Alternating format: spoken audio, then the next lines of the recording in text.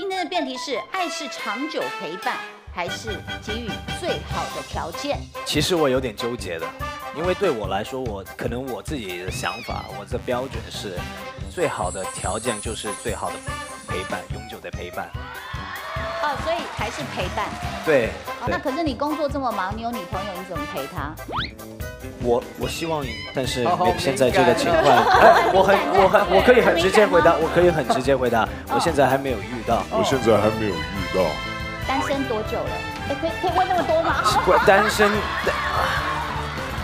想了解吗？想要想想想想。都蛮久了，就都都都有点过期了，都有点过期了。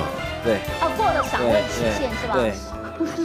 因为为什么呢？我一半时间在海外，一半时间在中国，就这个东西是，其实也蛮难的。对，如果我准备好的话，应该目前为止还没有这个，没有没有这个那个。可是听你刚刚的选择，意思就是他如果女朋友出现的话，他就会退出演艺圈喽。